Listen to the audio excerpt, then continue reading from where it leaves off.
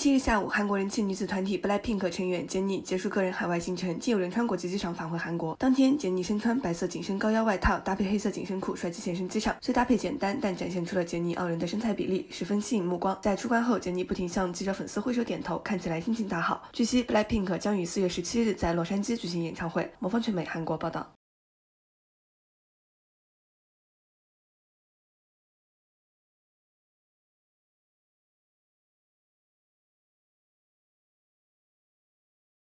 할게요. 뒤에 문 때.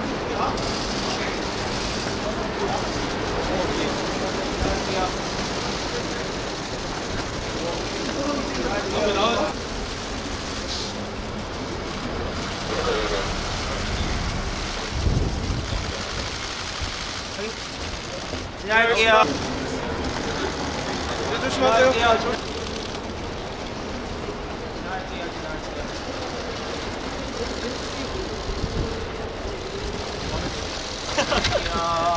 지나가겠습니다. 앞에 좀 나와주세요. 잘 가요.